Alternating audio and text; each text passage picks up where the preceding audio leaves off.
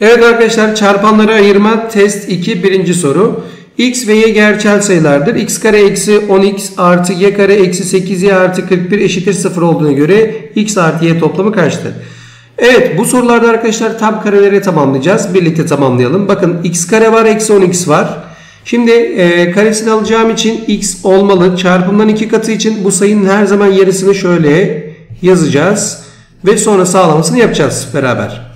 Buradan da arkadaşlar y eksi 4'ün karesini yazacağız. Şimdi 41 kenarda dursun. Bir şeyler ekleyip çıkarabilme ihtimalimiz olabileceği için birlikte yapalım. Bakın x kare eksi 10x zaten bu terimler geldi. Fazlalıktan ne geldi buradan arkadaşlar? Şöyle hayali olarak yazayım. 25 geldi. Kenarda dursun.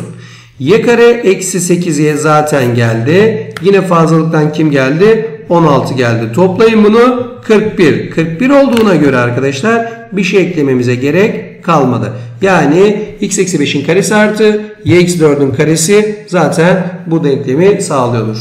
Şimdi karelerini alıp topladığımızda 0 geliyorsa bu ancak ve ancak x eksi 5'in 0, y eksi 4'ün 0 olmasıyla mümkün. Dolayısıyla x eksi 5 0 ise x 5 olacaktır. y eksi 4 0 ise y de 4 olacaktır. Toplamları da 9 olarak bulabiliriz arkadaşlar. İkinci sorumuz x kare eksi 5x artı 1 eşittir 0 olduğuna göre x kare artı 1 bölü x kare ifadesinin değeri kaçtır? Çok klasik bir sorudur arkadaşlar. Öncelikle bu soruyu çözebilmeniz için kendi kendinize sormanız gereken ya bunu biliyor olmam gerekiyor ya da bunu biliyor olmam gerekiyor. Bunlardan birini biliyor olursam karesini alarak sonuca gidebilirim. Şimdi bu bize verilmiş olmalıydı. Çaktırmadan verilmişler zaten. Her bir terimi x'e bölecek olursak x kare bölü x x olacak. Eksi 5x bölü x eksi 5 olacak. 1'i x'e böldüğümüzde arkadaşlar 1 bölü x eşittir 0 ise bu durumda x artı 1 bölü x eşittir 5 olacak. Evet tam aradığım şeylerden bir tanesini buldum. Her tarafın karesini alıyorum. Birincinin karesi x kare. ikincinin karesi 1 bölü x kare. Bitmedi arkadaşlar. 1 ile ikincinin çarpımının 2 katı. x ile 1 bölü x'i çarparsanız 1 gelir. 2 katı da 2 gelecek. Eşittir 25. 2 eşitliğin diğer tarafına attığınızda 23 olarak bulacaksınız. Yani doğru seçeneğiniz denizli seçeneği.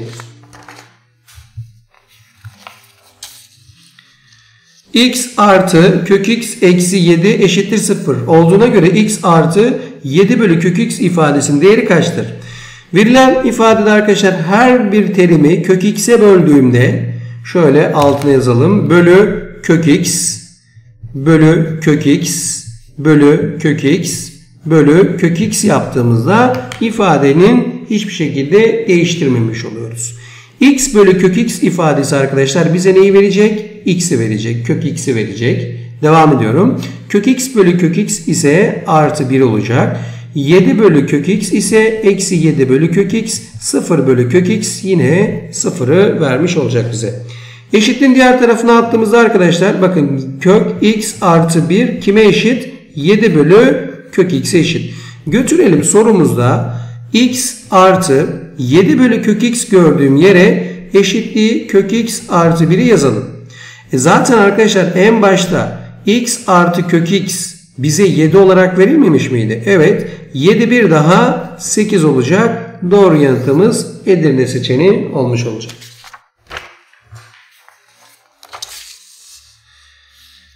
Evet x kare artı 4xy artı y kare eşittir 85. x eksi 2xy artı y kare eşittir 25. Olduğuna göre x artı y ifadesinin alabileceği değerler toplamı kaçtır demiş.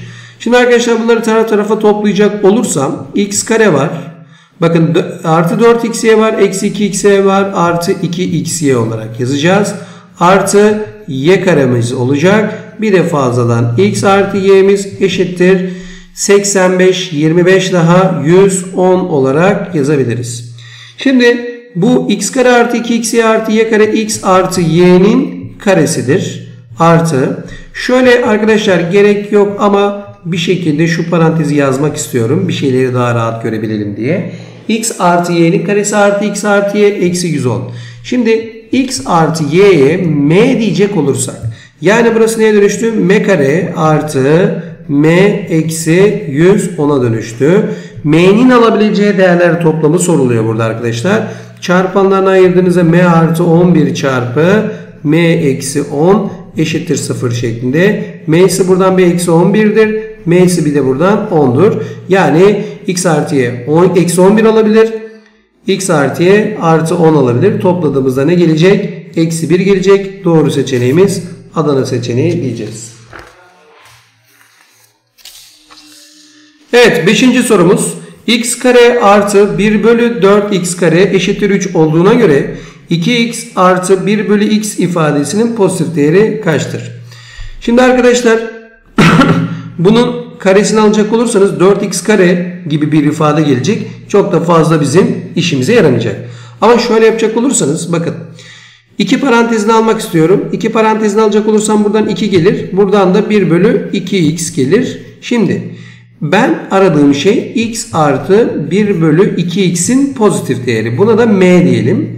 Her tarafın neyini almak istiyorum? Karesini almak istiyorum. Bakalım nasıl şeyler elde edeceğiz.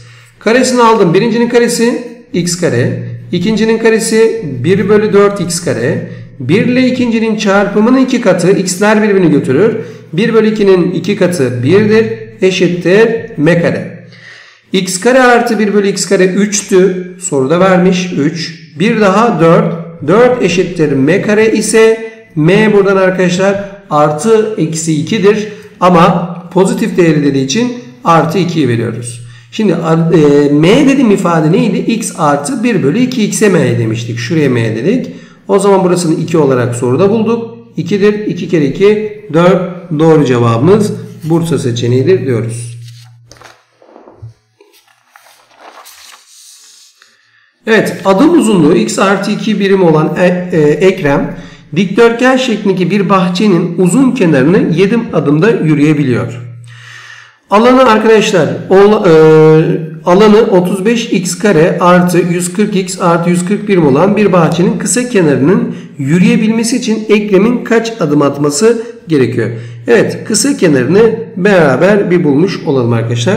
Şimdi adım uzunluğu x artı 2'dir olan Ekrem bir bahçe uzun kenarını arkadaşlar şu şekilde uzun kenarını 7 çarpı x artı 2 birim şeklinde yürüyor. Bakın bu ifadeyi arkadaşlar çarpanlarına ayıracak olursak 35 parantezine aldım. x kare artı 35 e, parantezine alırsak 4x artı 4. Yani 35 parantezinde x artı 2 çarpı x artı 2. Alan buymuş. 7 çarpı x artı 2 burada olduğuna göre kısa kenarına ne kalıyor arkadaşlar? 5 çarpı x artı 2. Bir kenar bir adım uzunluğu x artı 2 birim oluyorsa kaç adım atması gerekiyor? 5 adım atması gerekiyor. Soruyu çözebil e, tam olarak tutturabilmek için doğru seçeneğimiz Bursa seçeneğidir diyoruz arkadaşlar. Yedinci sorumuz. Yine bir arkadaşlar tabii ki bu soruda da payda eşitlemeyeceksiniz. İşin içinden çıkamazsınız. Ne yapacaksınız? Tam kareye tamamlayacaksınız. Yine klasik sorulardır. Bakın 49 bölü 9 7 bölü 3'ün arkadaşlar karesidir. 4 bölü 16 2 bölü 16'nın karesileri eksi yapıyorum. 2 bölü 4'ün karesidir özür diliyorum. Bunun karesi. Peki hocam bu eksi 7 bölü 3 nereden geldi? Ona bir bakalım. Bakın arkadaşlar birincinin karesi bunu verdi. ikincinin karesi bunu verdi. 1 ile ikinciyi çarpacak olursanız ne gelecek? Şunla şu yani 10 şöyle yazacağım. 14 bölü 12 mi geldi? Evet sadeleştirdim. 7 bölü ne geldi arkadaşlar? 6. Bir de 2 katını aldım. 7 bölü 3. Yani çarpımın 2 katı da burayı verecek. Dolayısıyla karekök içerisinde şu arkadaşlar kazanımızı da unutmayalım. Mesela n'inci dereceden x üzeri n. n'ler birbirini götürür. Ama arkadaşlar iki durum söz konusudur burada. n tek ise sonuç direkt x diye çıkar. Ama n çift ise unutmayın bunu dışarı mutlak x olarak çıkar. Dolayısıyla bunu bunu götürdüm. Dışarı mutlak değer içerisinde 7 bölü 3 eksi 2 bölü 4 olarak çıkacak. Şimdi işlemlerimizi yapalım. 28 şuraya yapmak istiyorum. Eksi 6 bölü arkadaşlar 12 zaten pozitif olduğu için sıkıntımız yok. Şimdi devam edelim. 28'den 6 çıktı. 22. 22 12'ye böldüm. 2 ile sadeleştirdim. 11 bölü 6. Doğru seçeneğimiz Ceyhan seçeneğidir diyoruz. Evet A sayısı arkadaşlar 7,182 ve B sayısı 2,818 olduğuna göre A küp eksi B küp bölü A kare artı AB artı B kare çarpı A kare eksi B kare bölü A kare eksi B kare ifadesinin sonucu kaçtır? Yukarı iki küp farkından dolayı ayıralım. A eksi B çarpı A kare artı çarpımları AB artı B kare diye ayırdık. Bölü. Aşağısı zaten arkadaşlar ifadeler çarpanlara ayrılabilen bir ifade değildir. Şu ifade arkadaşlar çarpımı ters çeviri bölüm olarak yazıyorum. Yani A eksi B çarpı A artı B'dir. Bu ifade ile bu ifade sadeleşecek. A eksi B'ler gidecek. Cevabımız 1 bölü A artı B'dir. A ile B'yi toplayacak olursanız arkadaşlar A ile B'nin toplamı ise dikkat edin 9 burayı da toplayın 10 olarak bulacaksınız. Yani cevabınız 1 bölü 10 doğru yanıtınız Adana olacaktır.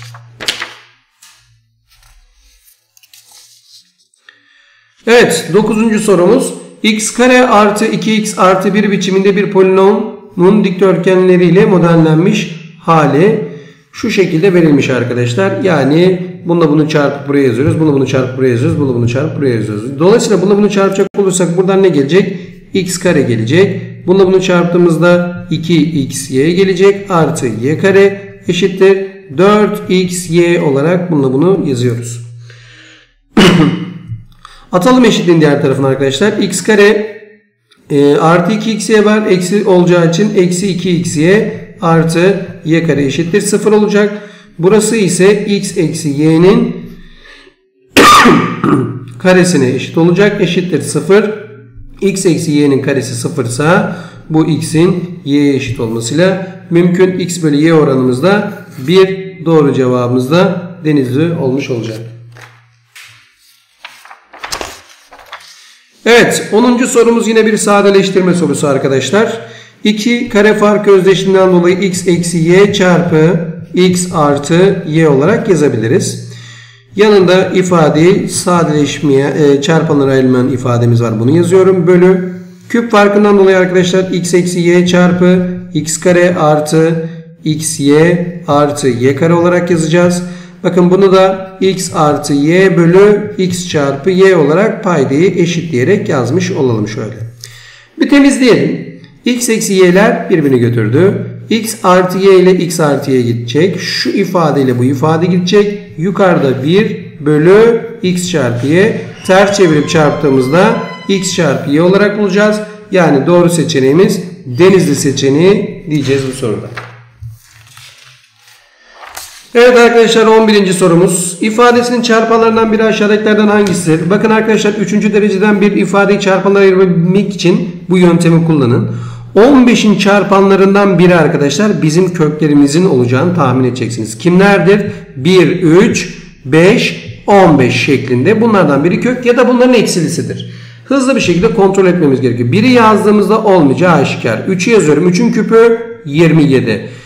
X'ine 3 koydum. Eksi 12, eksi 15 gerçekten bizim kökümüzdür. Çünkü kök dediğimiz sayı o değeri 0 yapan değerdir. Yani burada arkadaşlar 3 bir kök ise yani 3 verdiğimde bu ifade 0'a eşit oluyorsa bunun içerisinde mutlaka ne çarpanı var? x eksi 3 çarpanı var. x kare şu şekilde devam ediyor. Hatta son terimi de tahmin edebilirim. Eksi 5 değil artı 5 olarak yazacağız. Şimdi bize zaten çarpanlarından birini sormuş. Şu şekilde doğru seçeneğimiz Ceyhan seçeneğidir diyoruz. Diğer biri çarpanımı sorsaydı ne yapacaktım? Polinom bölmesi dediğimiz bölme arkadaşlar. Bunu x eksi 3'e böldüğünüzde bulabilirdiniz ama şu an için bize x eksi 3'ü sorduğu için doğru cevabımız Ceyhan seçeneğidir diyoruz. Evet ikinci e, test 12. soru arkadaşlar.